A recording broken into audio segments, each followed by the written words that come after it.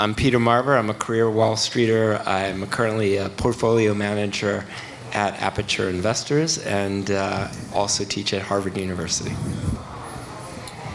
Uh, David, David Weild, uh, run an investment bank, a new model investment bank called Weild & Co. was vice chairman of NASDAQ. Uh, uh, people call me the father of the Jobs Act for legislative we, legislation we passed down in Washington. And uh, I raised uh, the first money for Larry Fink. And Frances? Okay, I day traded the financial crisis. and then moved on from there to do a lot of media and talk about economic cycles. And now I am the portfolio strategist, and we're allocators. We have about two and a half billion under management. And David. Uh, good morning. I'm David Carter. I serve as the Chief Investment Officer for Lenox Wealth Advisors. We're a registered investment advisor based a few blocks north and we run uh, multi-asset class portfolios, so equity, fixed income, and alternatives. And I've also indirectly raised some money for Larry. We use some of their products. So. Well, I think he's doing okay now, thanks to you. So um, let's go, ladies first. Frances, you first. Let's start with the main question. Is it over? If so, why? What do you think? What, what are we doing? I mean, you're, no, no, you're no, notorious for somewhat being uh, picking the peak in 2007, something we spoke about. Um, I remember losing sleep. A lot of us did. But how, how are you looking now? What do you think? So beginner's luck? No. I was actually studying charts that uh, replicated the Great Depression at that time. So it was really actually very interesting to study the top historically while watching it occur in 2007.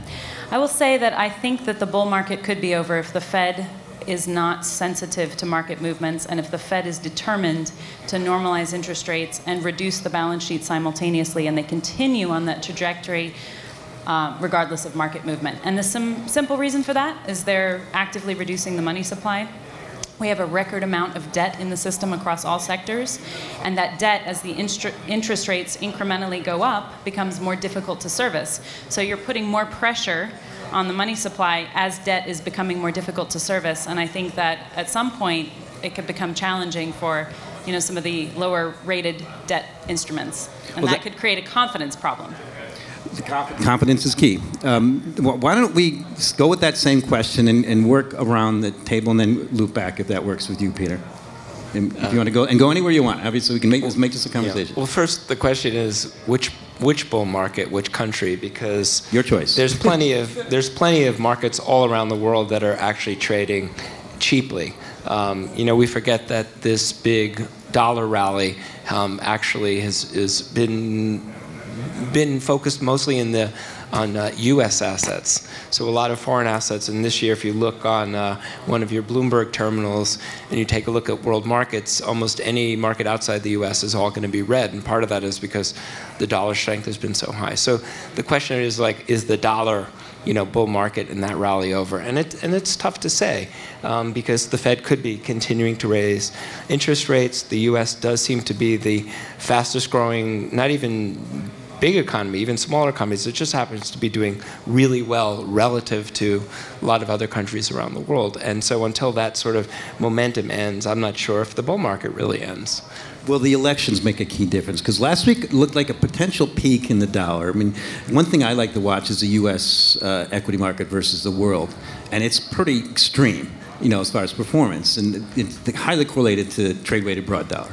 I mean, is there potential peak maybe with the elections today? Uh, it could be. I mean, um, in our group, we've been thinking that the dollar peaked like a year ago, so been kind of wrong on that because really. Um, uh, well, it did. We're not above the peak from 2000, depending what measure, not but close. It depending like the trade-weighted broad, it's not above it yet. Yeah, the thing yeah. about um, looking at like the dollar value is that often it can stay overvalued or undervalued for years, right? It's never really hanging at uh, a true market rate. It's always either undervalued or overvalued. So, um, and it's it's looked overvalued for a while, but then again, it could stay that way for, for, for years to come. But sooner or later, there will be a time to kind of get out of the dollar and dollar assets and start to look around the world because certain markets have just gotten very, very cheap.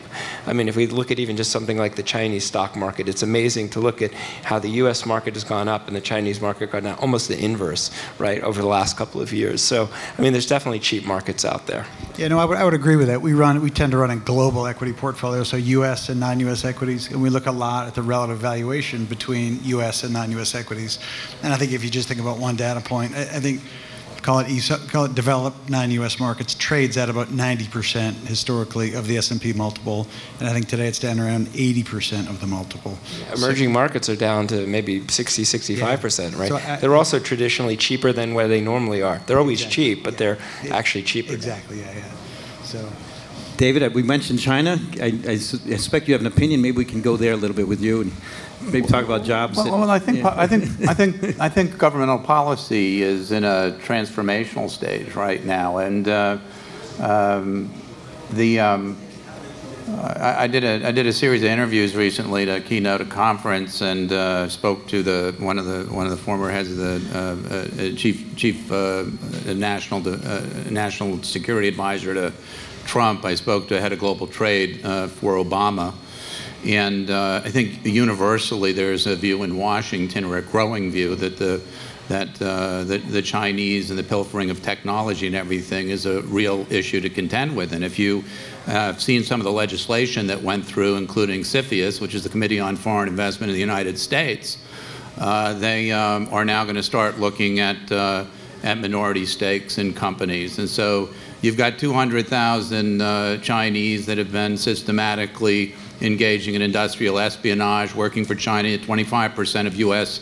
STEM students, science, technology, engineering, and math on the, on the graduate level are from China. There is a massive wave of investing in in early stage uh, uh, uh, technology companies. That's where all the Chinese, it's not later stage, it's free peaks of technology.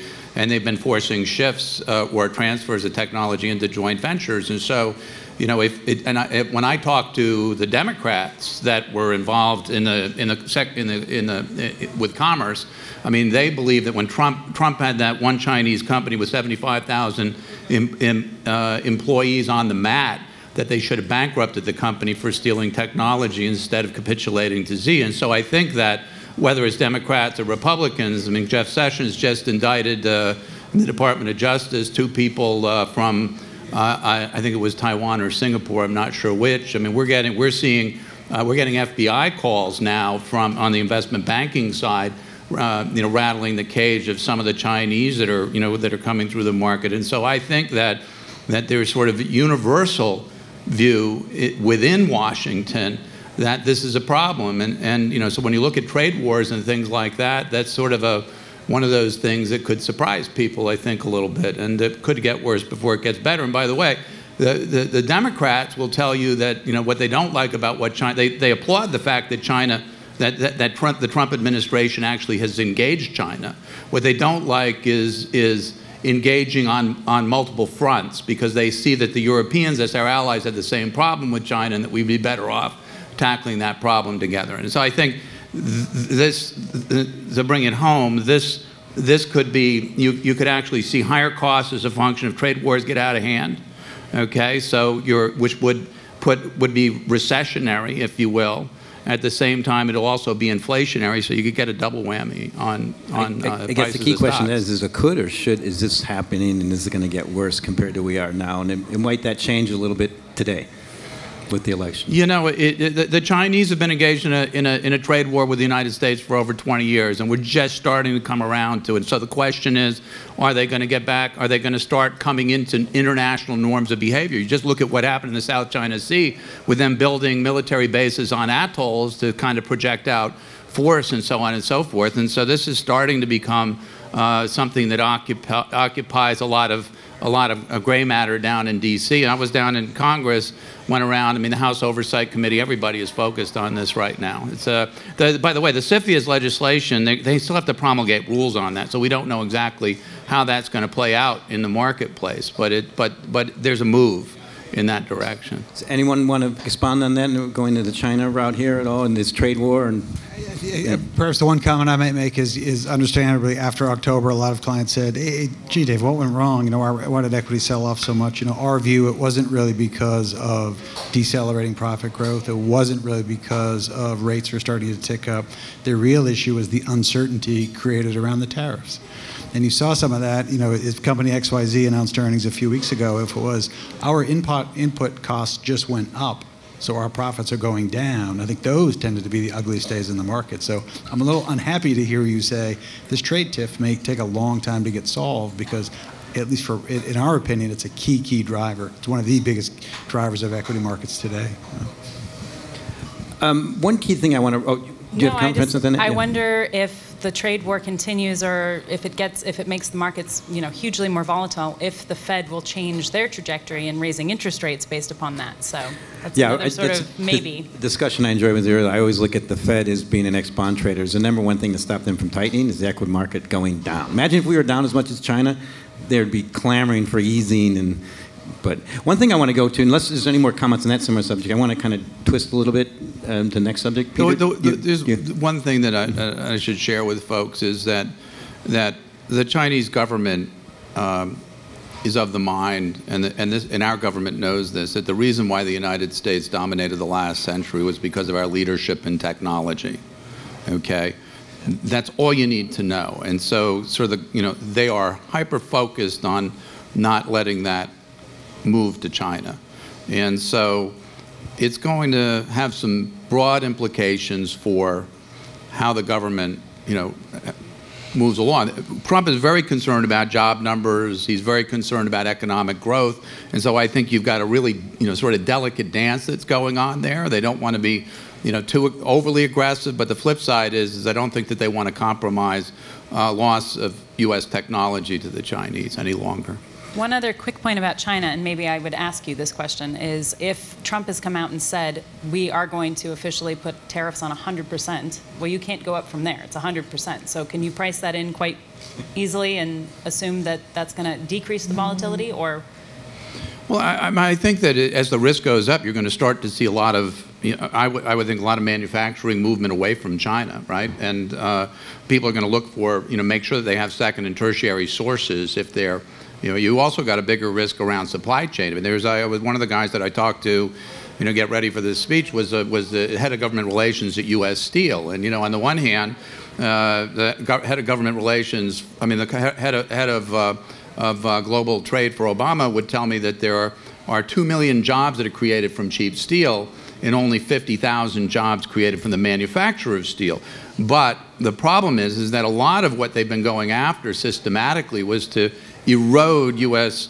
Uh, defense and national security by going after certain specialty steel manufacturers where the steel was important to save, for instance, the hulls of submarines. So there's a whole logistic component to it, and sort of beyond my pay grade to really kind of suss out what all of that is. But there's no question that they're looking at the logistical aspect of this too, increasingly. And if you go right now, I mean, people, I was down in Panama not that long ago. And uh, you know the, the, the Panamanians will effectively tell you that the Chinese are in control of the Panama Canal now. So But one thing I was struck by being in London last week is what you said. You know, I was there before the election, and the animosity for Trump was shocking. But the amount of people who really think, "Thank you, you're finally beaten on the Chinese for what they've been killing us." The Germans, they don't want to export anything because they kill, they take, steal our intellectual property and stuff. I was impressed with the amount of people told me that at high levels that this is something we've been waiting for. He- They might not like his tactics, but hey, it's working at least in that way. One thing I wanted to go on into a little bit is the main thing outlook is we, we hear okay, it's an extended bull market, um, unemployment's low, it's great. I have a kid in college who wants to go an extra year. I'm like, get out now, market's hot. But yeah, you know, typical student. Um, what would be the main drivers to stop this bull? If I mean, we're focusing on China. I mean, a year from now, what should be our, our subject? I look at it as it's a mean reversion year, and simplistically, I look at it what we did in 2007. The VIX dropped to its lowest ever. I'm like, all right, that's my signal. This year, last year was the lowest ever, ever. You know, 30 years. So okay, that's my signal. Say volatility goes mean reverts, starting to go up. Now that's me. So. Um, Peter, maybe we should start with you and Sure. go back and anybody comment, any yoink? Or? You know, well, first of all, we have to remember that the U.S. stock markets have reset a lot since January of this year. So if you look at PEs right now, I think you know trailing PEs in the S&P are under 19. I think uh, under 24 on the Nasdaq. I mean, these are not crazy, crazy by historical standards. If you look at emerging markets, we're down to I don't know about 12, um, relatively low. So you know, in that respect, you you might not want to say that stock markets in the U.S. or globally are necessarily uh, overvalued. I think I would disagree with Warren Buffett, who looks at the I think market cap relative to GDP and says it's been inflated, you know, and for for years. Um, I think actually like that that's not necessarily the best measure. I think PEs are a good measure of just value. I think where you might say the bull market is over, it might be in the bond market. Um, right? I think everybody on the panel would probably agree that you know we don't see interest rates going down, and credit spreads in in, in many um, U.S. categories are already at kind of like all-time tights or very close to their tights. So I would say, you know stocks still could have some room to run, certainly around the world. Bonds, probably a different question. That, to me, looks like the heyday might be over. So, uh, underweight, overweight? Uh, I mean, I look at it, okay, it's been a dip in the market, and are we supposed to just say, oh, thank you, reallocate back to overweight? Um, and put a stop in, I suppose. Maybe Frances, you'd be better on the stop. It seems like you're more the trader. yeah, put a stop in. Um, Peter, what I like about what you said was that the markets have reset, and we look at the PE ratios, and they are not crazy at the moment. However, what did it take to get there? It took so many iterations of quantitative easing, and now we're quantitative tightening. So if those if those normal PE ratios after the financial crisis are dependent upon quantitative easing, and quantitative tightening reverses that. I would say that that's where there's something unique in the system that could make them a little bit vulnerable.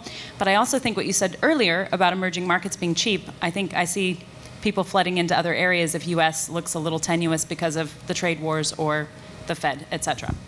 I think your, your, your, your timing is interesting, and, and we didn't do this because I was sitting on a panel, but just this morning uh, we took up our equity allocation across all portfolios, and a lot of it was valuation driven. If you just look at where the where U.S. markets trade relative to itself, it, it looks certainly within reason. If you look at non-U.S. markets, they look cheap relative to themselves and relative to the U.S.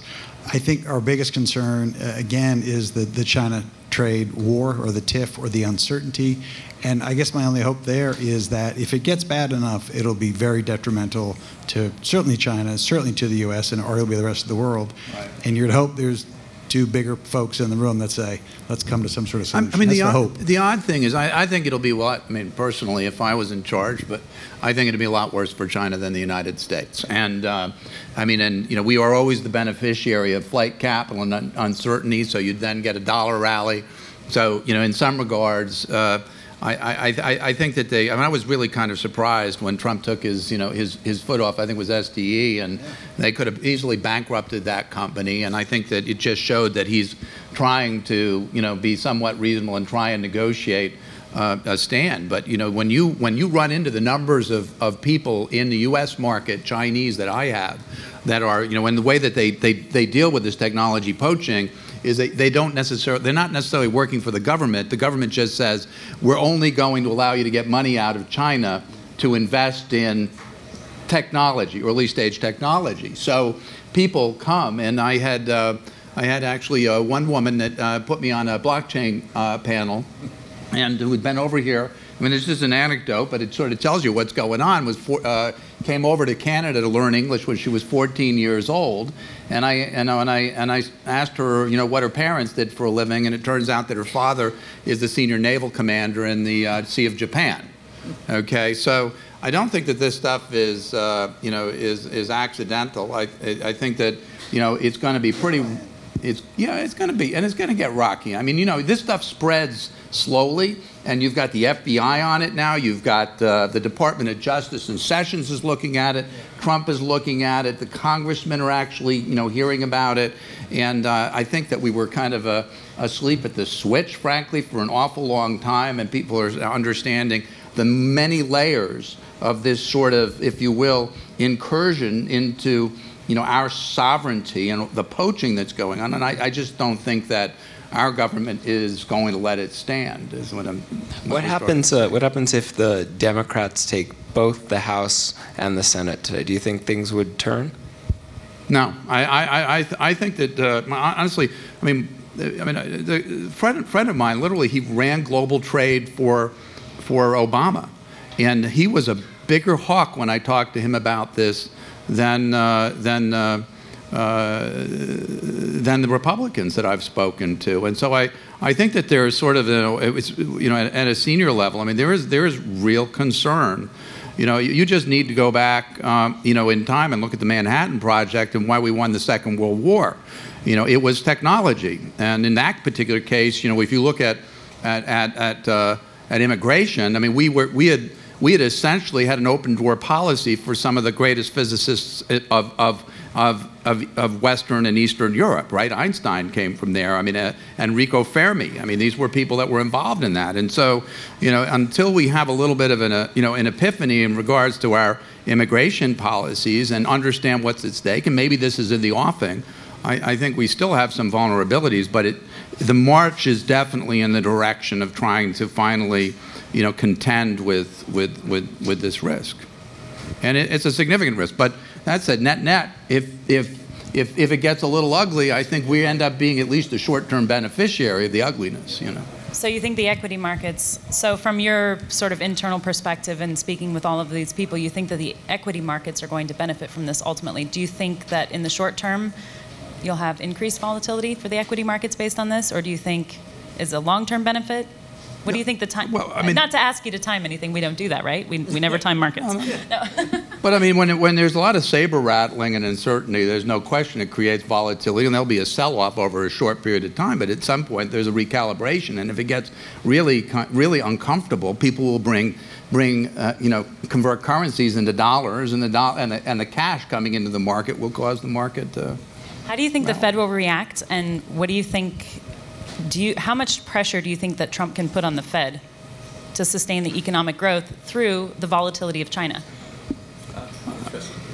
I, I like that. Go, is that a, He's got a bully, let's- let's he has a bully, like he has a bully question. I mean, pulpit, but the Fed is independent, and I think that, uh, I mean, I, I- my, my feeling is, is that most of them sort of, you know, uh, smile, you know, kindly and then do what they're planning on doing. I don't think they respond too much to that kind of pressure. I remember I reading think about the Booker. Fed Go ahead, is David. Much much less concerned with Trump's tweets than the PCE deflator. You know, eh, tell me what inflation does, and that's what the Fed's going to do. I think and hope. So Was anybody on this panel worried about inflation? I, I, I am because I, I think it often stems from uh, labor market tightness, and finally we all get brave enough to ask for for wage, uh, wa- uh, raises, and I think you're starting to see some increase in wage costs, and I think it.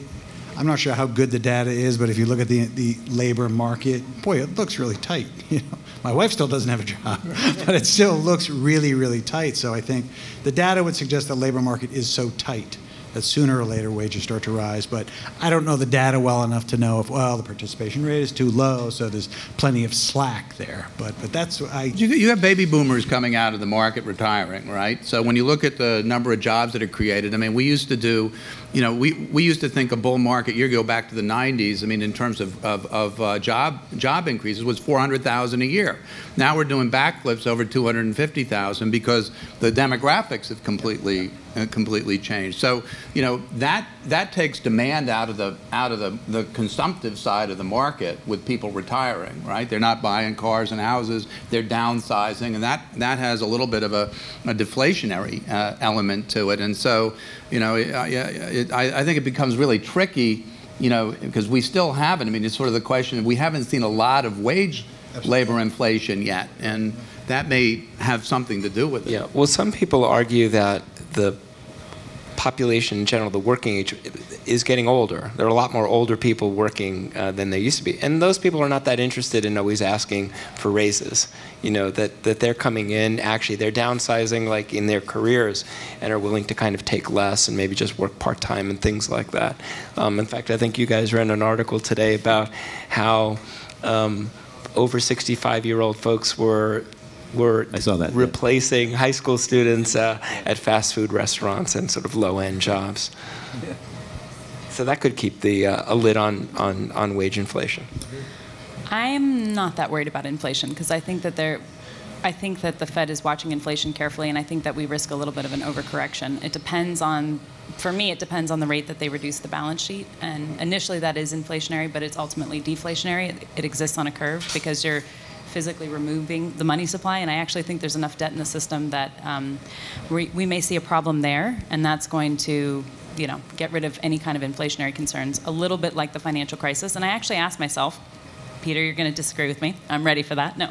I actually asked myself if we're at the top of the V and a W because of basically we did have to have quantitative easing to get out of the financial crisis. So in essence, we did paper over some problems that could be coming in the face of tightening in a record year of, you know, reducing the money supply. So, yes. We need a good disagreement. Peter, you want to go for that one? Well, I, I, actually, I'm not going to disagree with you Oh my because God, I'm so excited. So I will bring something up because uh, we haven't heard anybody. I haven't heard anybody, at least during this conference, talk about the twin deficits. That people don't talk about it, but our trade deficit continues to grow at a record level, and we also have these massive fiscal deficits. And there is going to be a a day of reckoning for this. Um, people haven't talked about it just yet, but when they do, you know, normally confidence starts to change, and you do see uh, uh, stocks normally hit during that kind of period.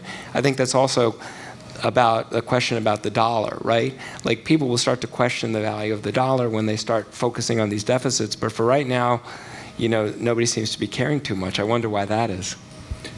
David, it was like you wanted to go there. Uh, Yeah, I, I guess uh, as it relates to say the twin deficit, deficit or, actually, or at least the fiscal deficit, uh, I'm, I'm embarrassed to say I've probably spent about two minutes thinking about the midterm elections because I'm not sure it really matters. I think, you know, if you if you if you have the status quo, whether Republicans or both parties, you know, some folks might say, "Oh, great tax cut 2.0 and an infrastructure bill, and we're going to more stimulus."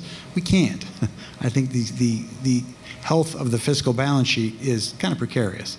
And I think cooler heads will prevail there and say, tax cut 2.0 is not happening. So I think it's kind of irrelevant there. And I think if the Democrats surprisingly sweep, that Trump is too big of a target uh, for impeachment. So that's just going to be a, a mess where I think a lot of people in D.C. just kind of do But you certainly wouldn't get you certainly wouldn't get the tax cut. You wouldn't get the tax cut even if they just take the House. There's probably a Correct. So, so part of my view is it, it, it's. I, I, so I, we rally from here, right? we always find a reason to rally. If the Democrats go in, we you, could rally. That's if the- you presume that there's a mechanical understanding of the debt and the taxes. I don't think that there is, based on the fact that the tax cuts created a parabolic movement in January. But um, this is the analogy I always use for people when I'm trying to explain to them if they're not investors. Okay, um, it's like a swimming pool, and the Fed is draining, and it's slowly, slowly draining the water. And Trump's got the fiscal fire hose, and the fiscal fire hose, while it's elevating things currently, is not sustainable. You know, for exactly the reasons that David pointed out. The Davids. Uh, the Davids. So um, my thought is that maybe we should um, see if there's any questions, get a pulse for the audience. Any potential questions for our panelists from the audience? Anyone? Okay, I think we have a little more time. Ryan, are you there? How much time do we have? 15 minutes, cool. So one thing I wanted to go to a little bit is I always looked at, you know, being in markets, trading pits since the 80s, technologies, boom, push that away, gone. Then I came, I was a voice broker here in, in, in New York since in the early 90s, and poof, that's gone.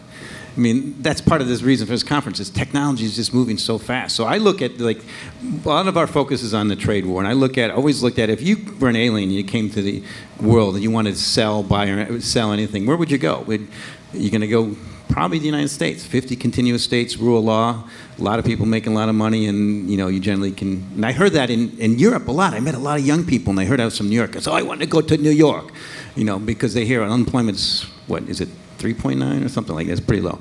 So my, my thought is in this trade wars, how could we if lose? they can get a visa. Yeah, well, that's, that's the thing. They can't. But I mean, my family of immigrants, you know, we all are. My mother's first language was Lithuanian. But um, how could we lose the trade war? Meaning, I, I look at it as political. I'm from the Midwest, and it plays really well. China bashing, certainly from people who are sick of seeing made in China in their products. And, and they might not be right, but it plays so well, and Trump just figured it out. His advisors, he, I think he was smart enough to take their advice. And he, he's been doing what he said. So, I mean, how do we go there? How is this going to plan out a year from now? What's, you know, it seems like the predominant theme right now. Uh, one thing that people don't talk about too much is that probably half of our trade deficit is really with Japan and Germany and, and the rest of Europe, right? And we don't seem to be having any more trade war rhetoric with the Europeans or Japanese. So the question is whether, you know, uh, as a tactic, Trump would try to get some deal with the Japanese and Europeans, considering that I think your, your, the, the, the concern over China and technology transfer is not just an American concern. I think it is a global concern. Um, and obviously, you know, if we could get the Europeans and the Japanese on board, we've already got the the NAFTA deal done, it might create some kind of momentum and some global pressure, you know, to, to really isolate the Chinese. David, I mean, that was, it could be a little both- wishful both Davids, I thinking gotta get your as an take on that one. American. No, but- that was what Obama's head of global trade said. I mean, it, you know that that you know fought, fighting trade wars on multiple fronts wasn't you know wasn't that constructive. Might play well in swing states, and it might help Trump get reelected. But it, but but what was really important was technology and technology theft and technology leadership, and and that we have much more in common in that regard with the Germans, with the Japanese, with the rest of Western Europe. We, we face a common threat. And so, you know, the right way in his, he argued with me was to pursue this trade war was really more one that was unilateral, getting, meaning between uh, the West and, and Japan and China, and get China, to get the China problem fixed because he saw that as potentially over the long run the real existential threat to put a sharp Yeah. point on it. I think, I think if I'm not mistaken, I think as part of the trade deal with Canada and Mexico, I think there was a clause in there that basically said, you know, dear Mexico, you cannot enter into a side deal with any non-open com- countries, which was basically you can't do your own deal with China. You know, you, you, your deal is with us. So I think it speaks exactly to your point, where it's let's all gang up. But this is, the, this is the thing that, uh, you know, the head of U.S. Steel's uh, government relations office pointed out to me. They call it transshipping, right? And, and uh, there's a term for, you know, how is it that South Korea ends up shipping more steel to the United States or to Western countries than it actually produces? And the answer is, is because China's producing it. And they then turn it into South Korean steel and it gets shipped out and they avoid uh, uh, uh, tariffs that way. And uh, so I think they're, you know, they're getting progressively more sophisticated about, um, about origin, and uh, they probably have a lot of work to do in that area. But you know, bit by bit, um, they they seem to be at least on the on the chase, whittling whittling it, whittling the problem down. Well, we're doing that a little bit with soybeans now. It's kind of a little more my focus. Uh, In Brazil, they're thir- what, the highest ever versus U.S. So there's getting they're getting to China, but indirectly. So I guess that's the point with free trade, which is kind of an oxymoron if it's true. Is at least you don't have it's fair. It's you, know the the winners, uh, the, who benefits the most in that certain whatever product it should do the best. But I always like to say it's kind of like um, the quote I always hear from the Chinese, oh, we're benefits. Uh, everybody says, yes, we're advocates of free trade as long as we're running trade surpluses with the U.S. That's the sense I always got. That's true. I mean, they say it, but it's, come on, it's not fair. There's an, a knockoff version of Bloomberg in China. I've heard about it. I mean, like, okay, well, that's kind of rule of law should prevail. They should crack down on that, like you mentioned. There should be that's got to happen, I would think, at some point. I think one of the big political issues, and I'm stepping a little outside of my normal. Please. but um, I think one of the big political issues is okay, so we saw that there were some consequences to outsourcing a lot of the manufacturing to China, right? There were a lot of consequences. Um, now, Trump wants to make America great again, and he wants to bring in back coal, steel, and all of these things, right? And so obviously people who were displaced by that find that very hopeful, and that makes complete sense. And then, you know, that they're, they're sort of the opposing political parties are like, let's move forward, let's do new technologies, let's do new energy, let's do this. So I think that there's, um, and I don't know how practical that is, honestly, um, with people that were trained in what they were trained in, and I don't know, you know, I'm not really sure that I have a vote yet. I'm just sort of a, an observer, but I think it's very interesting politically, and I think it's going to be hard to move any one of those things forward if the Democrats, you know, do win the majority in the House or the majority in the House and the Senate, and there's a bit of a gridlock. There's no momentum in either direction. Well, that was the sense I got in London from traders um, in commodities. And so now we're we're subject to being traders one tweet at a time, and they have to be careful. Any position they have on the one tweet, like in soybeans, boom, they popped up five percent last week from one little tweet. So. Uh, Can I ask Peter a question? Please, let's do that. He's Come on, let me get out of the way. I mean, uh, you know, making making the case for better values offshore. So obviously, looking at international and emerging growth markets, emerging markets. Um, you know, we've got. If you look at south of the border now, right? We've got. We've got Venezuela as a, as a failed state, right? And you worry about what the knock-on effects of that's going to be in the region. I mean, when I was down in Panama, they told me that there were 70,000 Venezuelans in Panama. It's only a country of 3 million people. We have, uh, and then you look at the, you know, the, the, the whole caravan problem now, which is El Salvador, Honduras, and uh, Guatemala are all kind of failed states in their own right, right? And so, you know, is this, how do you look at that? Because uh, obviously if you don't stabilize the region, you're going to have more caravans, more of a refugee crisis in this direction, okay? And at the same time, you wonder, how is that going to spill over and impact economics in the region? Yeah, well, I think we always fail to sort of put the size of countries, you know, in a perspective. Because really, if you look at all of Central America, it's just they're tiny compared to, let's say, Mexico, you know, which is over 130 million people. You've got over 150 million people in uh, Brazil. Uh, Venezuela is 30 odd million people. It's one of the bigger ones, but it's a long way from from from you know Caracas to Miami or even to the Rio Grande. So I don't I don't think we'll have those kind of real big spillover effects. And we also forget that really the big economic engine in the world is not Latin America uh, or, or, even Europe anymore, right? It's all out in Asia. And out there, you know, China is the second largest economy in the world, and it's still growing at whatever it is, 5 6%. And you're talking about a, a 12 or 13 trillion dollar economy, and that's adding a few hundred billion dollars of growth uh, into the world. You've got trillion dollar plus economies in a place like India. You've got South Korea, which I think is the 12th or 13th largest economy in the world, let alone Japan, which is still one of the, I mean, there's still like a load of economic activity going on outside of the US. And I know that the US has been the game for the last couple of years, but eventually that game ends. And I remind people that, you know, people thought the, that emerging markets were all the basket cases uh, uh, uh, in the late 90s and even early 2000s. And then between 2002 and 2007, the emerging market equity index went up 400%. So, and that was after a long period where the dollar was really, really strong. So I always feel like right when the dollar's the strongest is probably just about the time you need to start to consider some of these foreign markets. We have um, a few minutes, any, and just making sure before we finish up, I, I think we have a question Sir. Uh, you, can, you can repeat it to him. Let's grab the mic, sure.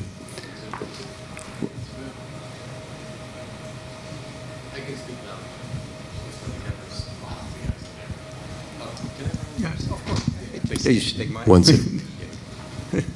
Thank you. Um, my question is um, the growth is coming from the technology companies. And um, KPCB says top 20 growth technology companies, 11 are in US, 9 are in China. And so therefore, to what extent this uh, China bashing, I'm not you know, being critical or one or other, is going to affect um, the, the bull which is coming from the technology growth companies, which almost all of them uh, need some kind of a network effects and um, so nine of them are in China, 11 in US, and they're growing, um, you know, in India, in Asian countries, and so on and so forth. What is the, in your opinion, um, and, and maybe I'm talking to uh, David Weild here, in your opinion, from a NASDAQ experience perspective, uh, this kind of um, foreign um, strategy uh, will impact uh, the technology companies, the top 20 growth companies? Uh, it's a good question. I, um, you know, I haven't done any analysis, but I'm aware of, you know, the, the fact that in, in China, a lot of certainly American network-based, you know, companies are really not that prevalent in the Chinese market. And for anti-competitive reasons as much as anything, and then vice versa. I mean, a lot of, because the United States generally led in the development of the, these uh, network technologies, they were, you know, copied. We also, by the way, we exported our uh, venture capital industry to China. I mean, they, for a long time, I mean, a lot of U.S. venture funds had a, had a stake in the ground, trained Chinese, set up the venture industry over there, and then the Chinese, you know, uh, venture capital partners broke away and started their own funds, right? So, and we kind of trained them on, on how to do it. But, you know, they, there's been a history of, of taking things that have been tried in the U.S. markets and putting a Chinese spin and launching, obviously, I mean, Alibaba being a case in point, Amazon being the precursor, right? Uh, so, but I, I don't know that the trade war per se is going to affect a lot of our network companies because I just don't think they're that embedded in China. But there are companies that have supply chain issues, notably Apple, right? And so I don't, I mean, my guess is, is that Apple's probably watching this, Steve Cook is, and they're trying to figure out, you know, how to insulate themselves to some degree against this sort of a trade war, at least they should be. But, um, We're, we're running out of time. I was wondering if we can just do final words from each of you. If um, you want to, Peter, you want to, any thoughts or what- thinking things to leave our audience with for they can pin us down on uh, for next year? I can start off. I'm, I looked at the equity market at the beginning of this year. Is it's way overdue for a period of underperformance, and my main signal was the VIX. Boom, simple. Yours.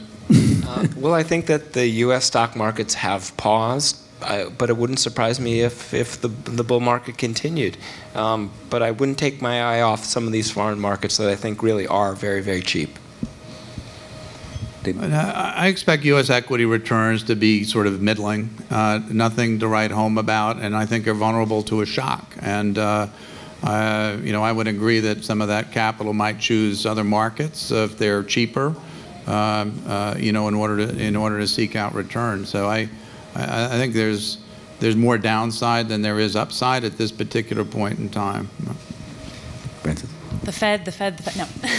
I think the rate of quantitative tightening and I think confidence in the sort of intermingling issues of these trade wars and different news items um, and how those sort of hit each other simultaneously, I think will make a big difference. I think if the Fed is, um, you know, not data dependent and the equity markets rock a little bit and they continue on their trajectory, it could make some of the debt markets a little bit weak.